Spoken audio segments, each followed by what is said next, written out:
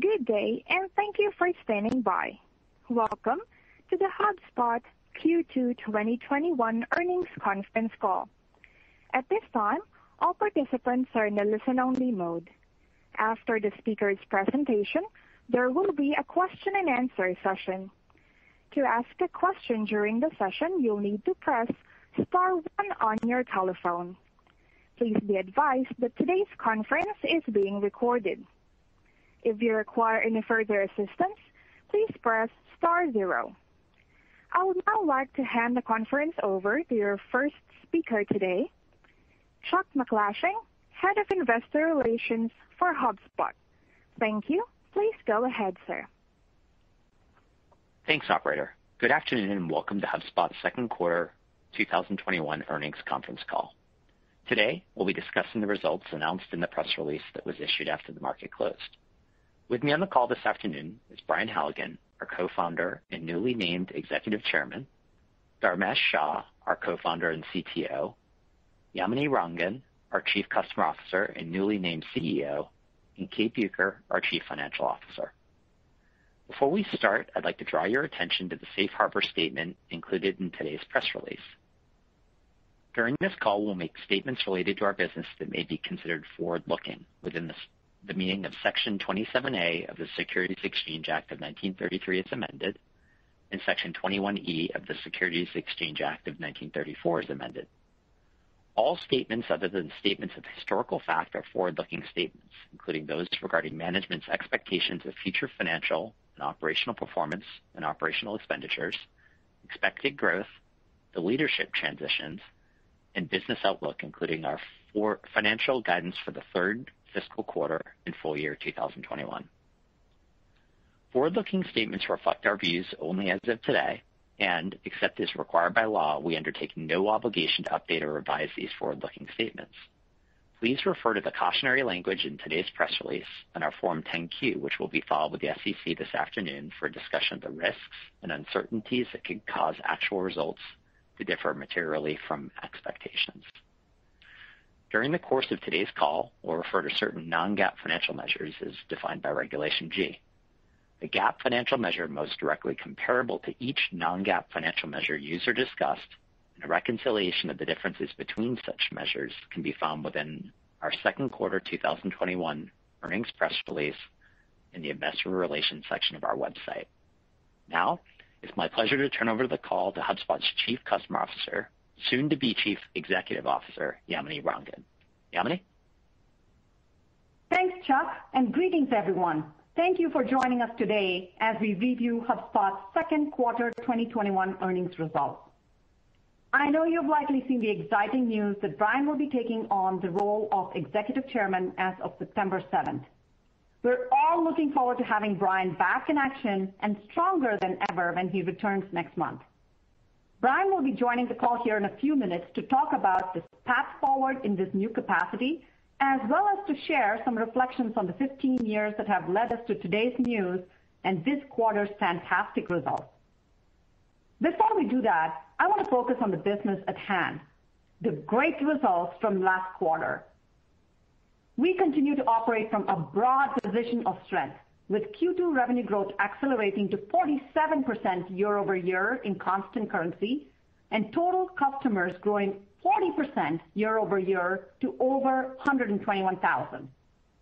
We've seen multi-product adoption grow to over half of our total customers, a great indicator that more companies are realizing the advantage of managing their entire front office on one platform with one data model, one view of their customers, and one user interface that's easy to use. A key driver of this continued growth is digital transformation we're seeing as more companies have had to adapt to doing business online. This shift towards digitally powered customer experiences is one that HubSpot has been evangelizing for the past 15 years, so we've been well-positioned to meet the moment. As consumers increasingly expect remarkable digital experiences at each step of their journey, scaling companies need a powerful CRM platform to tie it all together. This makes CRM not just a nice-to-have solution, but an indispensable driver of long-term growth for our customers. A key part of that digital experience is the company website. This is the digital front door. Traditional website content management systems are often siloed from other essential front-office functions. They're complex to manage. They lack speed, security, and scalability that companies need to grow their business. That's why we launched CMS Hub Professional and Enterprise last year, and we are continuing to invest in the platform with CMS Hub Starter launched yesterday. CMS Hub Starter is built as part of our CRM platform to give companies seamless access to all of their customer data. Having a CRM-powered website enables both marketers and developers to efficiently work together to build remarkable digital experiences and maximize the revenue-generating opportunity.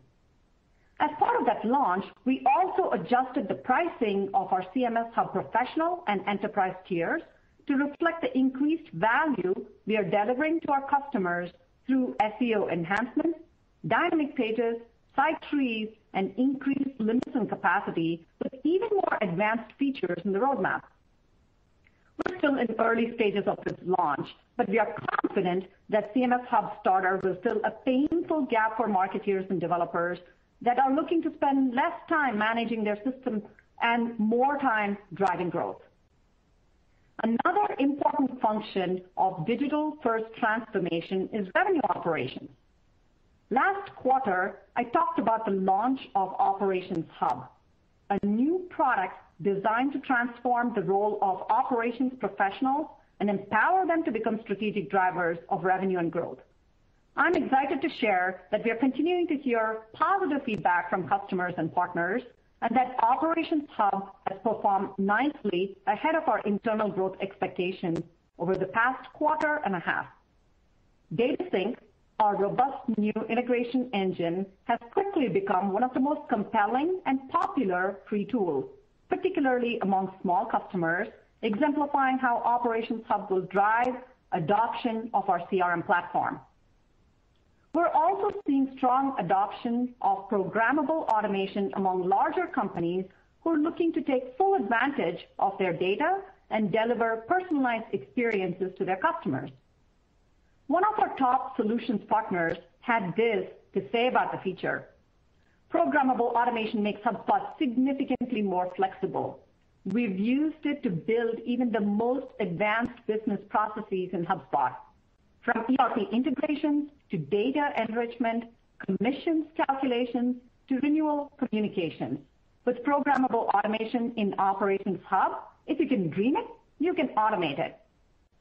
Thanks to the team at Aptitude8 for sharing that feedback. We're so glad that they're seeing value in Operations Hub.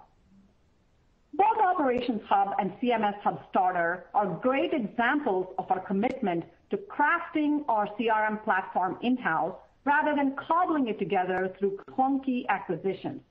That focus on delivering a consumer-grade UI matched with a scalable enterprise backend sets us apart from traditional CRM platforms and puts HubSpot in a strong position to achieve our goal of becoming the number one CRM platform for scaling companies.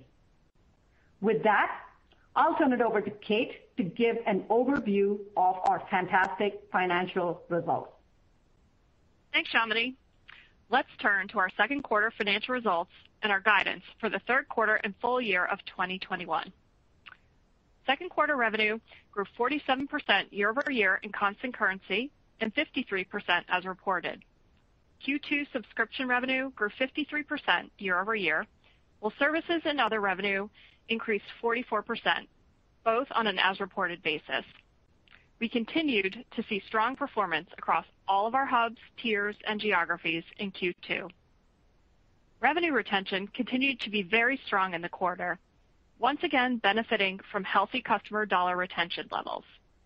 In addition, our net revenue retention continued to benefit from a diverse set of upgrade drivers, with particular strength from edition upgrades, cross-sell activity, and seat expansions. As of Q2, 58% of our customers are getting value out of two or more hubs as they adopt HubSpot as a platform. Domestic revenue grew 42% in Q2, while international revenue growth was 54% year-over-year in constant currency and 68% as reported. International revenue represented 46% of total revenue in Q2, up four points year-over-year. We added over 7,100 net customers in the quarter, bringing our total customer count to 121,000, up 40% year-over-year. Average subscription revenue per customer grew 8% year-over-year to approximately $10,200 as we saw a positive mix shift toward our professional and enterprise tiers, coupled with strong install base selling in the quarter. We expect our strong install base selling and positive product mix shift to continue through the second half of 2021. As a result, we anticipate second half net customer additions to sustain around these levels as we continue to compare against the robust Starter Growth Suite customer additions from 2020. We expect high single digits year-over-year growth in ASRPC in Q3 and Q4. Deferred revenue as of the end of June was $362 million, a 50% increase year-over-year. Calculated billings was $334 million, growing 60% year-over-year in constant currency and 65% as reported. This acceleration in constant currency billings growth was driven by strong business performance in the quarter, in addition to an easier overall comparison as a result of the challenging business environment in the second quarter of 2020. The remainder of my comments will refer to non-GAAP measures. Second quarter gross margin was 81%, down a little over one point year-over-year. Subscription gross margin was 84%, while services gross margin was -5%. Second quarter operating margin was 9%, relatively flat as compared to the same period a year ago. Operating margin in the quarter exceeded our expectations, primarily as a result of our strong revenue performance. At the end of the second quarter, we had just under 5,000 employees, up 32% year-over-year. Net income in the second quarter was $22 million, or $0.43 per fully diluted share. CapEx, including capitalized software development cost, was $16 million, or 5% of revenue in Q2. Free cash flow in the quarter was $26 million, or 8% of revenue. We continue to expect CapEx as a percentage of revenue to be about 5% in 2021, and now expect free cash flow to be between $170 million and $175 million, with a seasonally strong free cash flow quarter in Q4. Finally, our cash and marketable securities totaled $1.3 billion at the end of June. And with that, let's dive into guidance for the third quarter and full year of 2021. For the third quarter, total revenue is expected to be in the range of $325 million-$327 million, up 43% year-over-year at the midpoint. Non-GAAP operating income is expected to be between $27 million and $29 million. Non-GAAP diluted net income per share is expected to be between $0.42 and $0.44. This assumes 50.6 million fully diluted shares outstanding. And for the full year of 2021, total revenue is now expected to be in the range of $1.268 billion-$1.272 billion, up 44% year-over-year at the midpoint. Non-GAAP operating income is now expected to be between $107 million and $109 million. Non-GAAP diluted net income per share is now expected to be between $1.67 and $1.69. This assumes 50.5 million fully diluted shares outstanding. As you adjust your models, keep in mind the following. At current spot rates, we're forecasting an FX tailwind to as-reported revenue of two points in Q3, a neutral impact to Q4, and a three-point tailwind for the full year. Lastly, I look forward to seeing many of you again for our virtual Analyst Day as part of our INBOUND 2021 event on October 12th. and With that, I'll hand things over to Brian for some closing thoughts. Thanks, Kate. It's a true pleasure to be able to speak with all of you again. I'm so proud of the entire HubSpot team. They've been absolutely cranking during my time away, and I'm so thankful for the work that Yamini, Dharmesh, Kate, and the rest of the leadership team have done in my absence. My sincere thanks to all of you. I also want to say a huge thank you to all of you for the well wishes over the past couple of months. The road to recovery has been a long one, but I'm feeling really, really good. My head is 100% back. My body, well, that needs a little more physical therapy, but I'm making great progress and should get back to 100% quite soon. Now, back in June, we celebrated our 15-year anniversary of HubSpot's founding. When I look back at the last 15 years, I'm super proud of what we've been able to accomplish. We've built a truly mission-driven organization designed to solve for the customer and actually help millions of organizations grow better. This past year, we've hit some exciting milestones, like passing a $1 billion in ARR and 100,000 customers. These are just the start. HubSpot's still in the very early innings and has a lot more value to provide to our customers, partners, and employees. One of the keys to the amount of success we've had so far is we haven't been afraid to take inspiration from the Warren Buffett quote that goes something like, "Someone is sitting in the shade today because someone planted a seed several years ago." That's HubSpot in a nutshell. We've been willing to plant seeds like shifting from a marketing app to a front office suite, shifting from a front office suite to a front office platform, shifting to a freemium model, and many, many others that are all paying off quite nicely for us today. Lots of shade going on. Now, over the last six months, I've been thinking a lot about how I can have the most impact on HubSpot moving forward. And moving to the executive chairman role feels like a natural fit. As an executive member of the board, I'll be able to lean into the things that excite me, like planting and nurturing more of these seeds that will turn into big, shady trees for years to come. My transition to executive chairman would not be possible we weren't super confident in Yamini's ability to lead HubSpot. When we hired Yamini, we knew we were getting an incredible leader with an amazing track record of holding high-impact roles at SAP, Workday, and Dropbox, who would be able to align marketing, sales, and service teams and create a more cohesive experience for our customers. But what we've actually gotten is so much more than that. Since the day Yamini arrived, she's made HubSpot better. From reducing friction for our customers to leading the company with clarity and empathy through the pandemic, Yamini has proven she's ready to take on the role of CEO to help both HubSpot and our customers and partners grow better. And she's just a perfect complement to Dharmesh and me to write the next chapter. I want to close out by once again thanking Yamini for her terrific leadership over the past six months and offering my heartfelt congratulations to her on this exciting milestone. Dharmesh and I have no doubt that she's the right person to lead HubSpot moving forward, and I'm super excited about the journey ahead. I want to thank all of you for your time. Now, speaking of Yamini, over to you. Thank you so much, Brian, for your kind words and for your incredible support during my time here at HubSpot.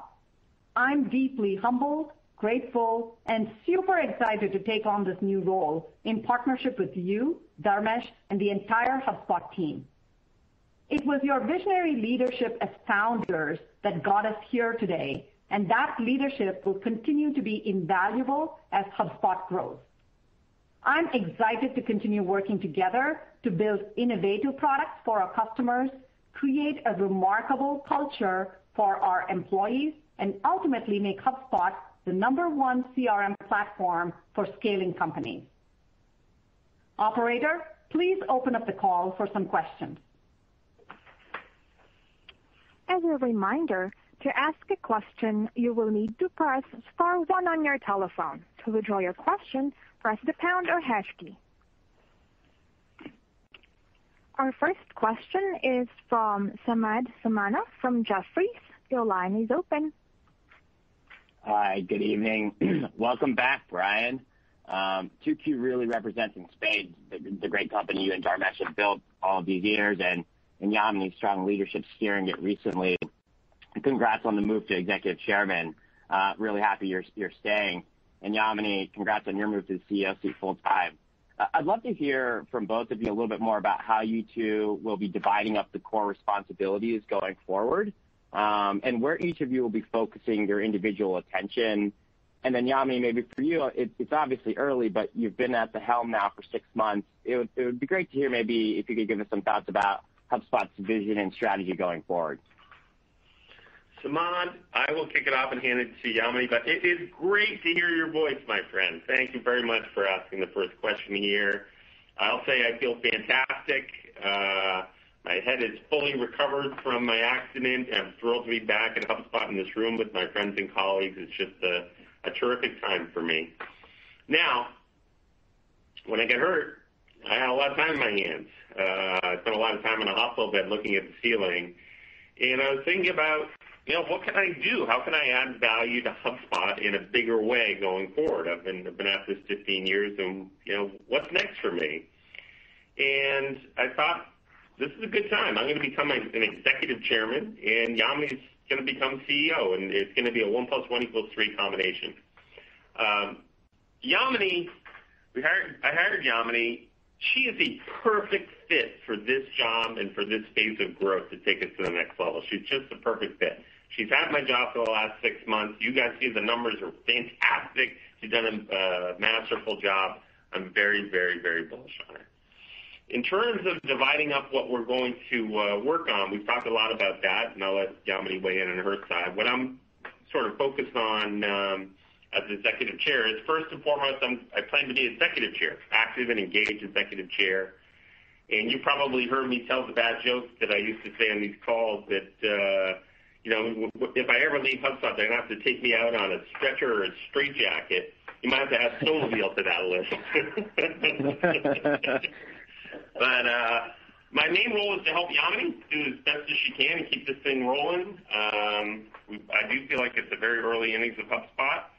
Uh, the second thing that I've always enjoyed doing and helped drive is plant those seeds to turn into big, shady trees that we've all enjoyed over the years. Uh, the Apps-to-Suite tree we planted several years ago, it's still a small tree. There's a lot more growth to go in the Suite. We're just now planting the Suite to Platform seed. That's going to go really well. It's you know, top of the first inning on that seed. The Foot to Premium model, the Bet on Culture. These are seeds we planted long, long a long long time ago that have all paid off. And uh I like that type of work, and I like product and product vision. So that's kind of where I'm going to be focused and then just helping Yamini. How about you, Yamini? Yeah. Well, thank you, Brian. And I have to so humble, grateful, and super excited to take this new role and write the next chapter of growth at HubSpot. Um, Samad, I'll say I'm particularly excited because I get to work with two brilliant people, Brian and Dharmesh, who've done this for 15 years, who have fantastic experience.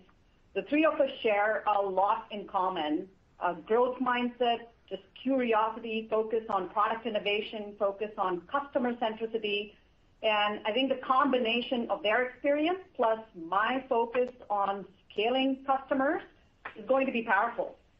Um, you asked a question about the vision and strategy. Oh, our vision is clear. Our vision is to help millions of organizations grow better, and we're just getting started um, in accomplishing that vision.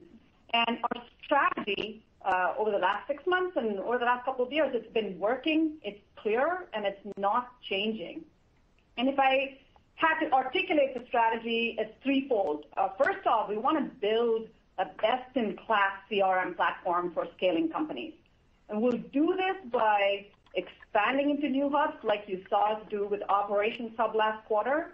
And we'll do this by investing heavily into our existing hubs, like you heard about um, the CMS Hub this quarter. We have just a long way to go, a lot more to do in terms of the product.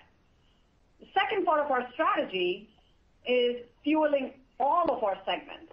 Now, we focus on the 1-2,000 segment, and historically, we've been really good at the twenty to two hundred, and we have unparalleled product market fit there.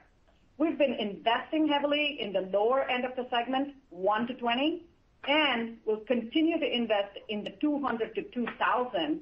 so We uh, have just a great you know, enterprise class of product with consumer-grade ease of use, and this is working. And finally, the third part of the strategy I'm very excited about is that we want to continue to build an organization that can scale. We care deeply about our employees, we care deeply about diversity, and we want HubSpot to be the place Uh, that's really the best place for people to work and serve our customers. So I am super excited to get started on this journey and write the next chapter of growth at HubSpot. Great. Thank you for that both for that detailed answer. And Kate, I know the big news uh, was the transition, but it wouldn't be a HubSpot quarter if I didn't ask on the financials. Just that billings number was very, very strong. I know there's an easy comp there, but even if I look against a very strong 1Q, Um, maybe could you just help us unpack if there's any anything that changed in terms of either duration or was just were there more larger customers in the quarter that leaned toward enterprise and took more seats than normal? Just help us understand the really uh, good amount of strength there. Yeah, sure thing, Samad. Uh, billings growth was notable uh, and notably strong in Q2. Frankly, there's not much out of the ordinary here. There's not a lot of big changes in duration. Um, The biggest driver of the billings performance was the strong bookings growth that we had in the quarter. Um, the one thing that I would point out, and you kind of got it in the question, is that there is a relatively easier compare uh, for billings relative to revenue in constant currency. Um, you might remember last year, uh, in Q2, we ran a number of short-term customer release plays that had a bit of a negative impact on our Q2 2020 billings. And so billings had just frankly a little bit of an easier comp than revenue. Great. Thank you. Brian, we'll miss you on the call, but congrats again, and look forward to seeing you at future Inbounds. Yeah, I'll see you actually pretty soon. I'll be in the Investor Day at the uh INBOUND, so we'll see you soon. And our next question is from Mark Murphy from JPMorgan. Your line is open. Yes, thank you very much, Brian. As much as I enjoy reading your uh, tweets, it's so much better to hear your voice uh, live. So uh great to hear from you, and uh, congrats to both of you um, on all these tremendous milestones. Um, Yamini, um, let me start with this. I think you've talked in the past about bringing high-end features down to mid-market companies. I'm just wondering which features uh, maybe have driven the greatest traction recently in some of the enterprise editions, whether it be uh, custom objects or account-based marketing or different channels that are emerging. Just anything else that you see which might be resonating in the results here? Yeah, thanks uh, Thanks a lot, Mark. Good to hear your voice and appreciate your wishes for both Brian and myself. Um, I'd say the enterprise, uh, all of the product investments that we have been making in enterprise is working. Our strategy is really to build products that fit every one of our segments and our up-market segments uh, from 200 to 2,000, that's been a focus area for us. Now, last year, we powered up Marketing Hub, and a lot of the features that we announced at the beginning of the year deeply resonated with our customers. And at INBOUND, we launched Sales Hub Enterprise, as you know, and custom objects, huge hit. A lot of the CPQ advanced features that we added, huge hit. In Q1 of this year, we added Conversation Intelligence. Now, this is a category in and of itself. The fact that we added it to power a hub, um, and is now a seamless part of our whole suite, that is resonating deeply within the market. So our strategy for continuing to build powerhouse features while maintaining the ease of use uh, that is consumer-grade, I think that is what is working. And broadly, if you look at the up-market, we're just getting a fair share of a fast and growing market, and we'll continue to invest both on products as well as go to market to continue fueling that. One thing that we've seen. Okay. Mm-hmm. Go ahead. Just uh, kind of adding on there is that we talked about custom objects, which has been really well received. We're continuing to pull on that thread. We have custom objects, flexible data association, things that customers have been asking for. And the idea there is for a company to be able to model its entire business um, within HubSpot. So the more flexible database gets, the more data we can hold there, and the higher percentage of that 200 to 2,000 segment uh, uh, we can serve well. Okay. Thank you for that. I appreciate the additional color. Uh, Yamini, just as a quick follow-up, it sounds like you're mostly focused on executing on the preexisting roadmap and strategy. You've been a big part of it. It's been performing amazingly well. I think, um, you know, kind of following on um, Samad's question, I'm just wondering, do you carry um you know some unique philosophies or maybe just think the time is right to make any kinds of little tweaks? For you know, for instance, the focus up-market versus down-market or the optimal number of hubs, right? As you're talking about Conversation Intelligence, it made me think of that. Or um you know how deep to push on the operations side, any of those vectors where you have any little different view?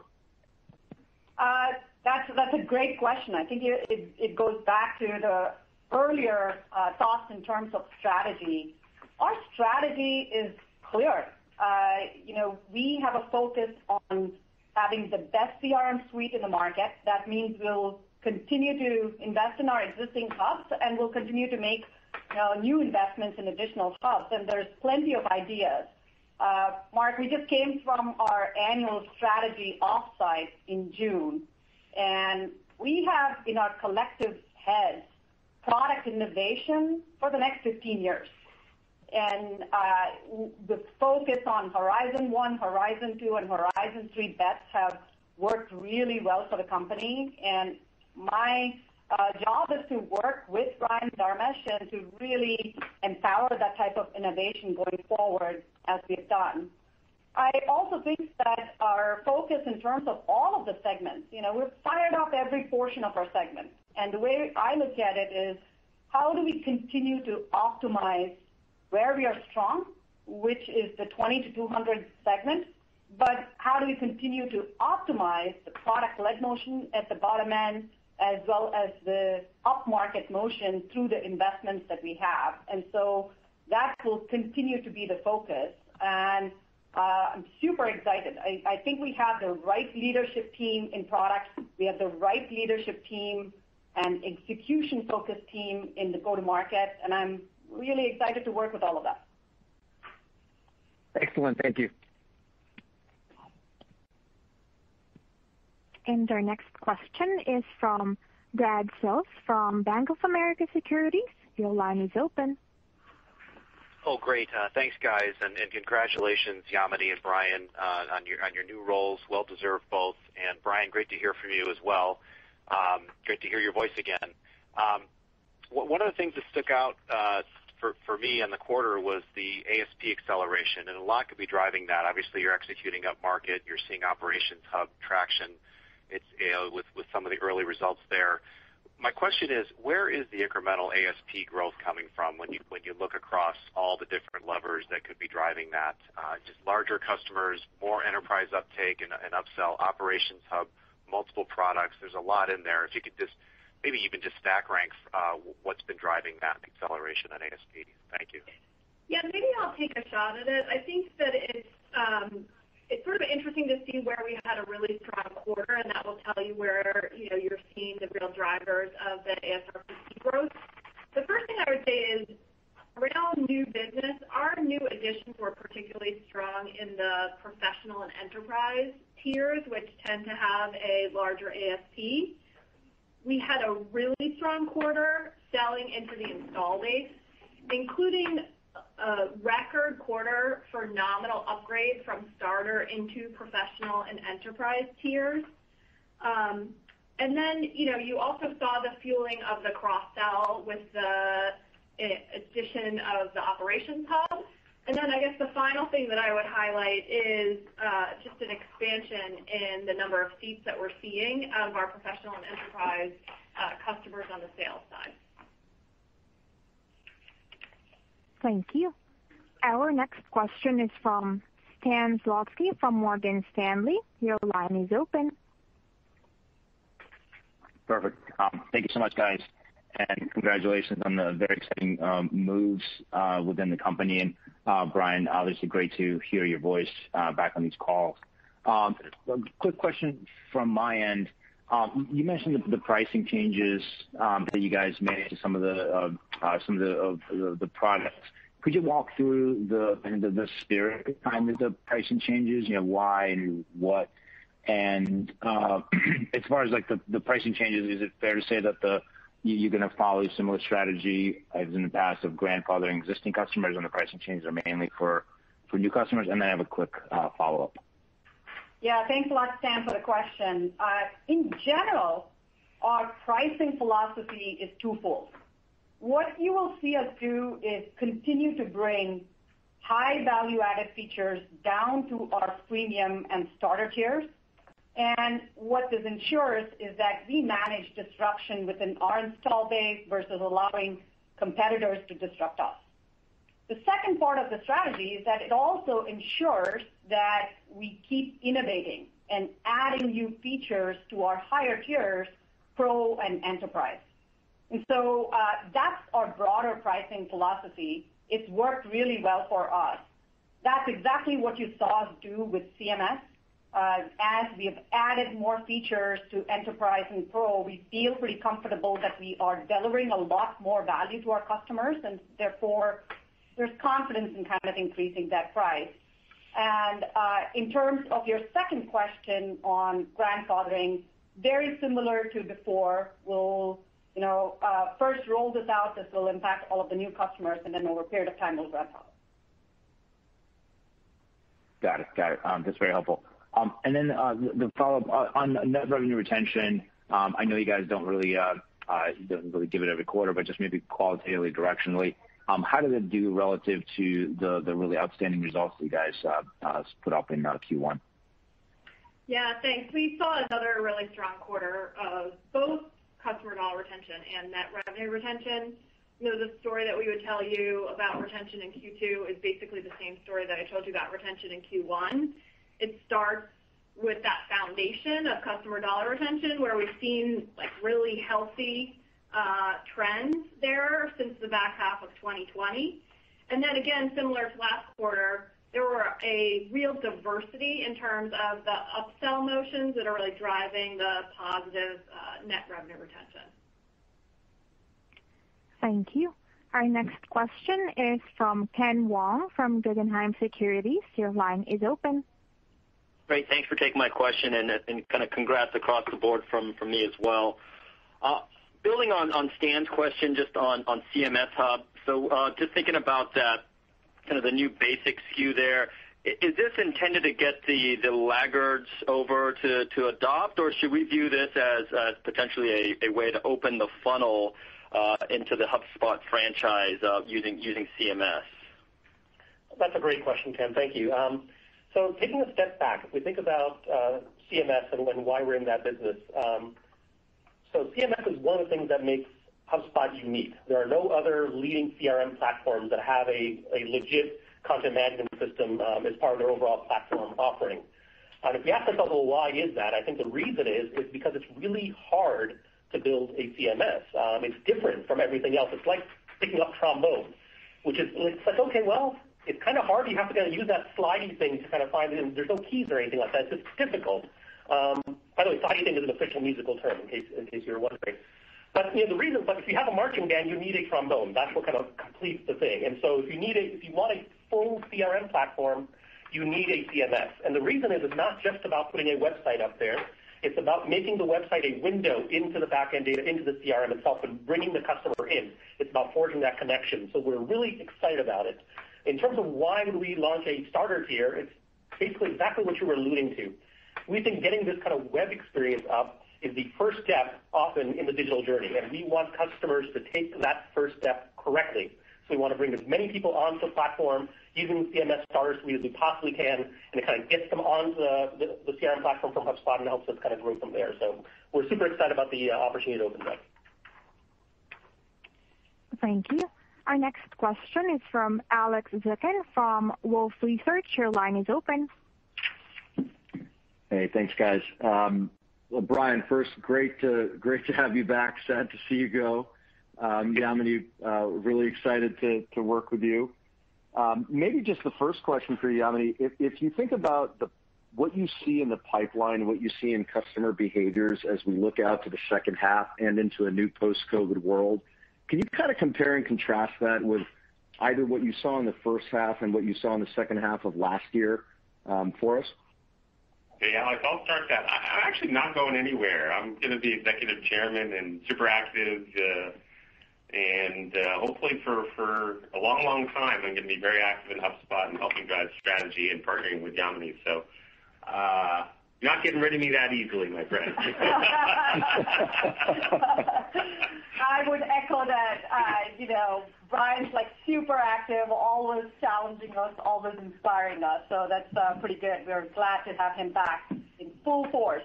So Alex, the question in terms of uh, demand environment comparing first half and second half, our demand environment is solid, similar to what we saw in the last quarter. Now, if you step back, our product is really unique relative to uh, competition. I'd say we have a very very strong value proposition that is resonating in the market. And Brian talked about sowing seeds. I think we've done enough product investments in the past few years, and you're seeing all of that pay off. We not only have that product market fit, but we also have a go-to-market fit, and the combination of those two are really helping us drive really strong financial results. In terms of pipeline, I'd say that the digital first and digital ready, both of those trends are here to stay. We're not going back from here. We are clearly seeing our customers modernizing their CRM platform from website to marketing to sales and service. They're all focused on delivering a connected customer experience, and that's the kind of customer interest that we're seeing from a pipeline. And uh in July, at the very beginning of the quarter, we actually gave our entire global employee base a week of rest. And we did that. Uh, you know, it was a very important choice. We care about culture. We care about employees. We wanted them to rest, recharge, and come back with a full focus in second half, and that was the right thing to do. And I think I'm really feeling good about second half and looking forward to what we are going to do in the second half. Thank you. Our next question is from Drew Foster from Citigroup. Your line is open.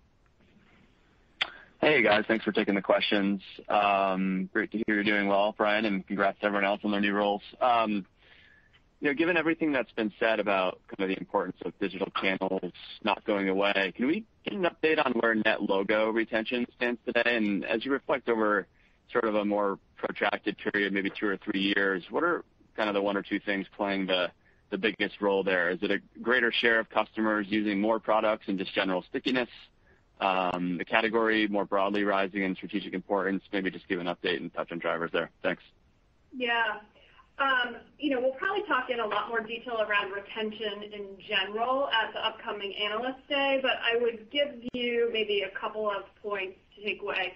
Um, customer dollar retention, which is not the same as logo retention, but is sort of the baseline of how we think about it internally, um, is very strong and showed specific improvements through the back half of 2020 and sort of stayed at that new elevated level uh, for the first and second quarter of this year. You know, and you know, I think it sounds kind of elementary, but the the truth is that what we're seeing is that our customers are just using the product more. And as it turns out, that leads to higher retention. Uh, and we are, as a result, enjoying really healthy core retention levels. Thank you. Our next question is from Terry Tillman from Truist Securities. Your line is open. Yeah, thank you. And Brian, congrats and good luck on the next chapter. But I think on one of those last questions, I think you said you're going to stay on these calls going forward. So I'm gonna that's my base case. So we'll see you on the next call. Uh and good to have you back, and congrats, Yamini, as well. I guess my question just relates to, you know, it was echoed a couple of times in terms of installed base selling strength. I think it was mentioned by Yamini maybe, and Kate, if I'm not mistaken. Uh, what I'm curious about is, has there been some things you've done internally on a programmatic basis to kind of turn that dial more and/or investments? And is this more uh should we see more of this in the future where there's more of a structural shift where you're just getting a lot more from the install base uh, selling each quarter? Thank you. Uh, Terry, thank you for the wishes. I really appreciate it. Um, I think in terms of the install base, like our existing customers Um, now have a lot more products that they can adopt, right? And in the past uh, couple of quarters, we have introduced Operations Hub. We have improved the editions on a number of hubs, and so there's a lot more product for them to adopt. And I think uh, that product has gotten much better. So when our customers are on one hub, and then they see the value of a seamless uh, single data model, single interface of other hubs, that naturally pulls them in. Uh, so, the product investments are probably the first ones that I talk about. I think the second part of it is that we certainly, from a go-to-market perspective, have uh, invested more heavily in our customer uh, success team, working more closely with our sales team, and that helps us connect the dots in terms of install base, and that's certainly been part of it. Now, going forward, I'd say we want to have a balanced approach. We would you know, we continue to acquire a lot of new customers because of the strong value proposition that we deliver, and we continue to sell into the install base. So you'll see a balance of both of these across our future quarters. Thank you. Our next question is from DJ Hynes from Canaccord. Your line is open. Hey, guys. Uh, congrats everyone on the new roles and uh, the continued success. It's awesome to see. Um, Just a go-to-market question on Operations Hub. Is the buyer there somebody that you're already talking to when you're selling marketing and sales, or is it somebody else in the organization that sits on top of those efforts? I'm just trying to think about you know the ease of cross-sell and whether in most cases it's with somebody you already know and that's familiar with HubSpot. That's a great question, DJ. Uh, that's a fantastic question. I'll say the buyer for Operations Hub is a revenue ops persona. Now, I spent a better part of a couple of decades uh, in CRM running these operations teams, and they're really the nerve centers of go-to-market functions. Uh, they're sometimes the unsung heroes, but they have a really critical role to play, which is providing the single source of truth about customers to the VP of sales, to the head of marketing, to the head of customer success. That's the persona. Uh, they've always been involved in a CRM purchase, and now we're providing them the flexibility and the power for them to deliver insights into the front office. And if you really step back on Operations Hub, it's a couple things. It really helps our customers connect their tech stack. It helps our customers clean up the data. It helps our customers automate the processes. These three challenges are traditionally the ones that revenue operations teams and all of our customers struggle with. And so it's really uh, helping that critical persona be very very successful. And uh, we've seen a lot of traction. As I mentioned in my prepared remarks, we are seeing very positive feedback from our customers as well as partners, and programmable automation has been on fire, really good traction. A clean use case of that is uh, lead routing. You know, you want to do advanced lead routing. You are able to take you know, all of the data from CRM, but also figure out who's the rep capacity, the rep seniority, rep is on vacation, the rep is on sabbatical, and use all of that information to now be able to automate your processes. And so Operations Hub provides flexibility, automates processes, and supercharges our CRM suite. Thank you. Our next question is from Brian Peterson from Raymond James. Your line is open. Thanks for taking the question. And Brian, it's great to hear your voice and glad to hear you're well, and congrats to both you and Yamini on the new roles. So maybe just a higher level question for me. You know, I'm curious, uh you know, if we're looking at the pace of net new customer adds, I'm curious, how much does the platform in the breadth of functionality between different areas come up? You know, I guess I would think that post-COVID, uh, people are looking to maybe consolidate vendors and think about simplification of a digital go-to-market model. Is that something that's coming up in a lot more conversations? And how do we think about that impacting win rates? Thank you. Yeah, Brian, I'll uh, I'll uh, address that and then have maybe Kate or Dharmesh jump in. You're you're exactly right. Like if you think about our customers, they're coming through uh, this whole pandemic saying, one, I need to digitize my entire front office.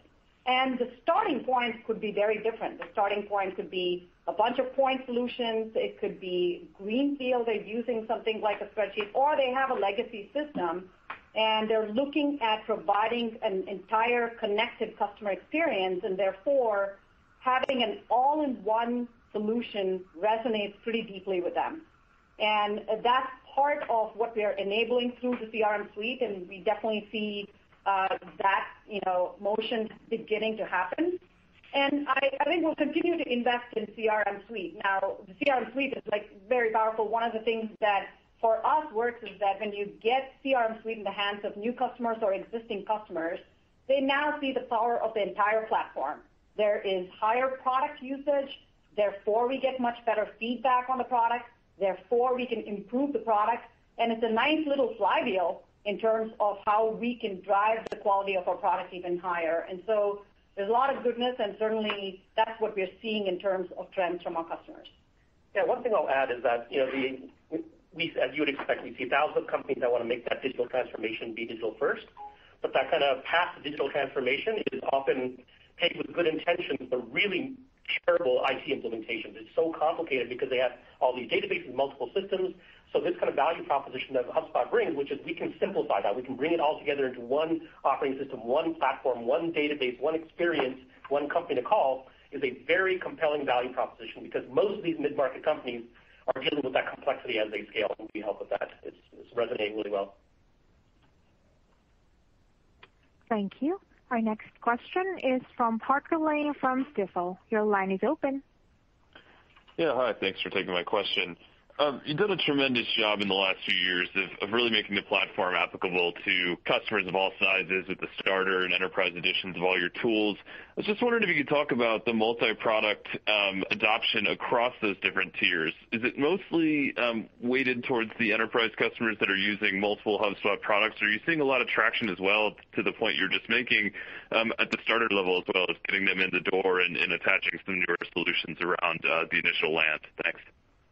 Maybe I'll start with some numbers and pass it on to Yamini for a little bit more color and context.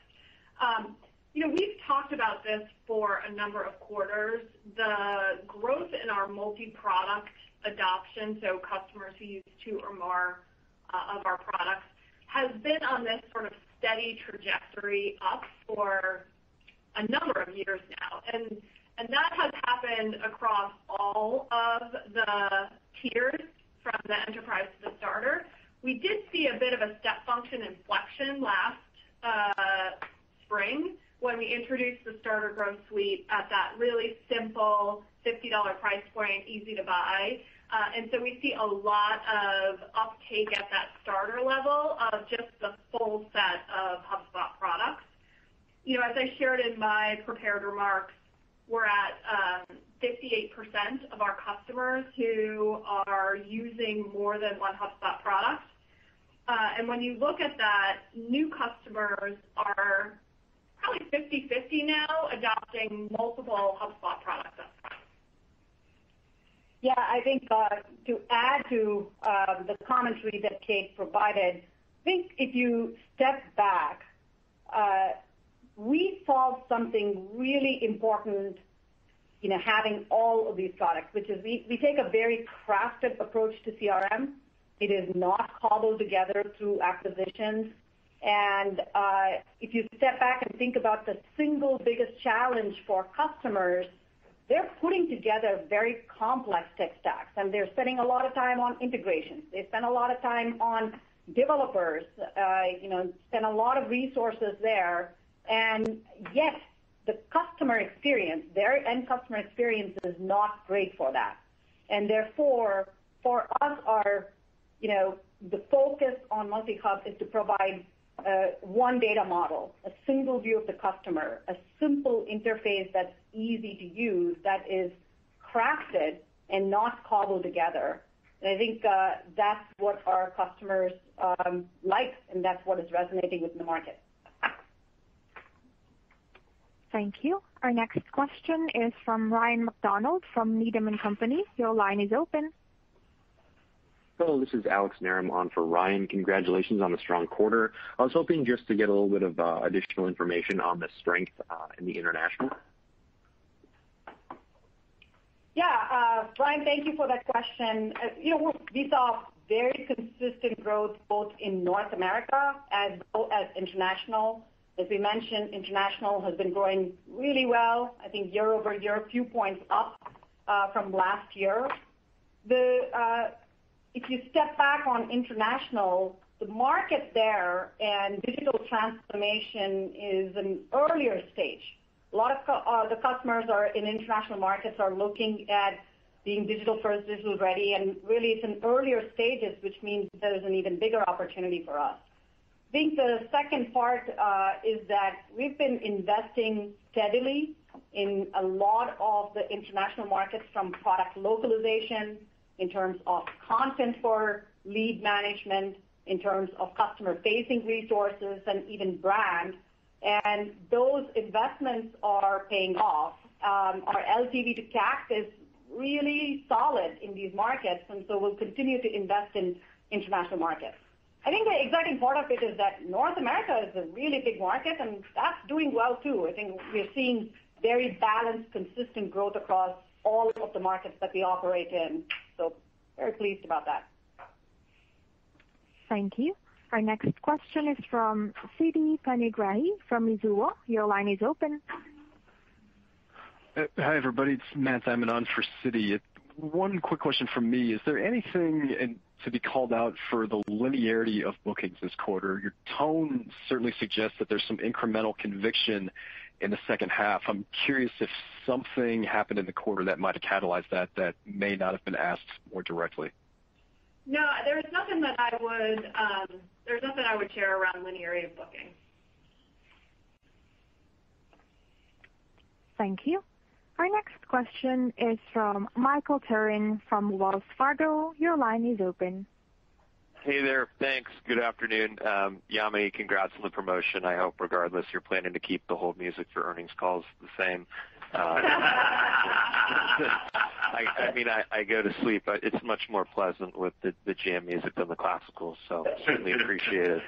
Um, I mean, there have been some questions on it, but the average revenue per customer metric certainly stands out, Um, as do comments on just expectations that trend can hold for the rest of the year. So can we just go back to that? I'm wondering if some of that's just tied to this being the other side of the strong customer add strength we've seen over the past year, and then just how much the new hubs and what you're doing with bundling also just helping out there. Thank you. Yeah, I mean I think you got it uh, in terms of the underlying theme. You know, we've we've talked about this in the past. There is a lot of quarter-over-quarter variability in those KPI metrics, in particular, the customer additions and the ASRPC. And you know what we saw this quarter was strong professional and enterprise trends, you know, strong install base selling trends. And as a result, what you're seeing is that ASRPC is you know, uh up nicely year-over-year. Frankly, if you stripped out the starter and looked at ASRPC, it's like up even more. Uh and so, you know, we don't guide, as you know, to our KPI metrics. And frankly, we don't guide because that's not how we manage the business. Uh and so, you know, I shared some commentary around back half in the prepared remarks around the expectations. We think that we should see net customer adds for the back half of the year in and around what we saw in Q2. and With that would come an ASRPC growth in those high single digits. Thank you. Our next question is from Michael Turits from KeyBanc Capital Markets. Your line is open.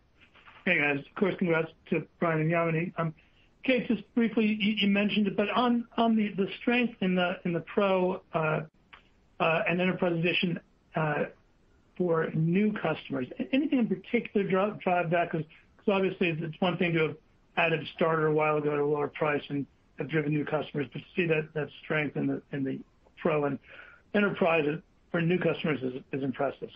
How'd you get that? Yeah, thanks. I mean this is it's not a new thing for Q2. We talked about it last quarter as well. Um, we had you know, really strong new customer additions in Pro and Enterprise in Q1 and in Q2. And I think for all of the reasons that Yamini has talked about throughout the call. Thank you. Our next question is from Brent Bracelin from Piper Sandler. Your line is open. Uh, thank you. And Yamini, congrats on the promo. Brian, not only is it great to hear you're healthy, but also great to hear you're planning to remain active with the broader team here. Again, wanted to go back to the durability of growth here. We've been trained here over the last four years not to think of ASRPC as a driver to growth. In fact, it's been a slight drag to growth over the last four years. This quarter, five-year high at 8%. It's emerged as an incremental growth lever to the business. Um, my question is, are we entering a new period where we could see both strong new customer uh, additions and this revenue expansion, ASRPC expansion as an incremental lever to growth? Or is it too early to really weigh in on that? I get that you have some easy comparisons here, but it does feel like we are entering a new period here where this could be a nice incremental lever to growth as well. Yeah. I guess what I would tell you is, and we've been talking about this over the last three quarters, um, is that we have seen really nice customer additions and quarter-over-quarter expansion of ASRPC. I think this quarter marks a little bit of a different um, milestone where we're seeing a real increase on a year-over-year basis as well.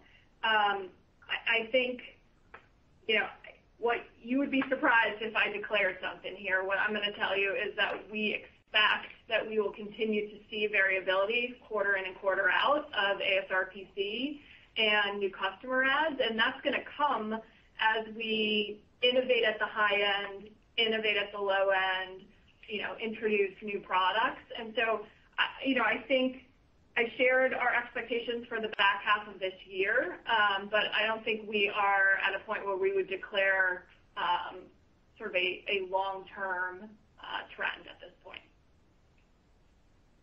Thank you. Our next question is from Kirk Materne from Evercore. Your line is open. Uh, uh, thanks very much. And I'll echo the congrats to both Brian and Yamini. Yamini, maybe just on the pro and enterprise side of the business, seeing such good traction. I was just wondering how you think about the evolution of sort of your partner platform as you start talking to more of these customers that have maybe more bespoke needs.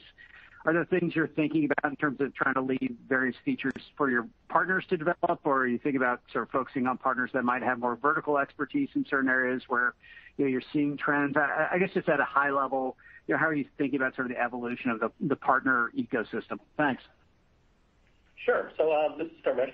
When we think of the ecosystem, there's actually multiple parts to it. There's the kind of app platform or the app ecosystem, where there's software companies building integrations and extending HubSpot. And there's the solutions partner ecosystem, which basically help us service HubSpot and then bring it to different markets. I'll let Yamini speak to the the solutions partner side.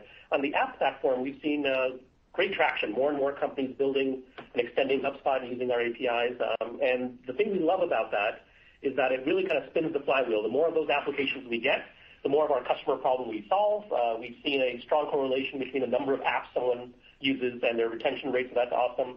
Uh and the more apps we have, uh, the more customers we get. So those things kind of feed each other and kind of fuel the flywheel. So uh the app platform itself is going really well, and I'll let uh, Yamini speak to the solutions partner program. I think that was really good commentary on the app side. I think on the solution partner side, we are diversifying our entire ecosystem. I mean, and our partners are continuing to you know, go there in terms of CRM implementations, integrations, much more complex implementations, and we uh, are really focused on this. Earlier this year at Partner Kickoff, we went to our partners and we said, "Look, we want to scale with you." So the strategy has been scale with partners, which means we will sell more with partners and enable our partners to service our customers, and that's good for our customers, and that's good for partners, and therefore it's good for HubSpot.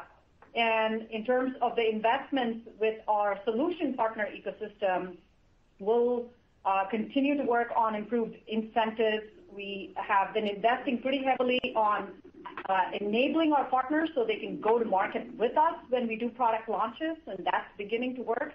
And we'll continue to invest in scaling services through the partners. And so uh we definitely see them as part of scaling HubSpot, and they play a critical role. There are no further questions. I will now turn the call back over to Brian Halligan, Executive Chairman, for closing remarks. Thanks, everyone, for joining, and look forward to seeing you at the virtual Analyst Day in Inbound. Thank you, presenters. Ladies and gentlemen, this concludes today's conference. Thank you for your participation, and have a wonderful day. You may all disconnect.